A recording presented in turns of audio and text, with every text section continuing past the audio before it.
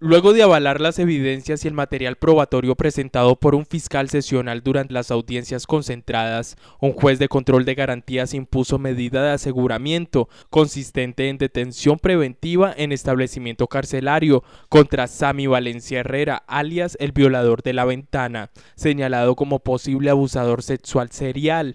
Según las denuncias, el procesado llegaba a las viviendas de las víctimas, se asomaba por una de las ventanas, luego las ubicaba y las llamaba. Posteriormente, al parecer, les apuntaba con un arma de fuego y les pedía que se quitaran la ropa y realizaran actos sexuales, mientras las grababa con un teléfono celular.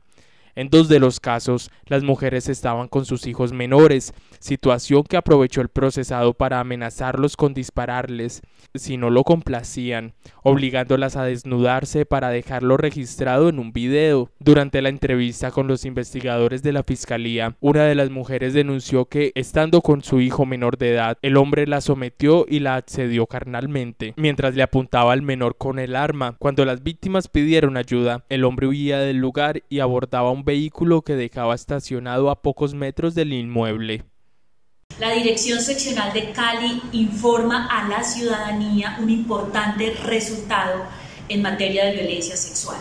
Hemos capturado, formulado imputación y obtenido medida de aseguramiento en establecimiento carcelario en contra de un presunto agresor sexual que habría atacado al menos en seis oportunidades.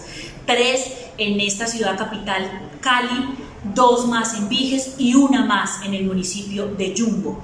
Este agresor sexual se acerca a sus víctimas a través de las ventanas de sus inmuebles, las amedrenta a través de la utilización de arma de fuego y obtiene la realización mediante esta violencia de actos sexuales e incluso accesos carnales violentos. Asimismo, intimida algunos niños que se han encontrado en estas viviendas también con arma de fuego. Le pedimos a la ciudadanía que si encuentra similitud en esta modalidad delictiva, se acerque a esta dirección seccional con el propósito de fortalecer esas investigaciones e imputar todos los delitos que haya podido cometer este presunto agresor sexual.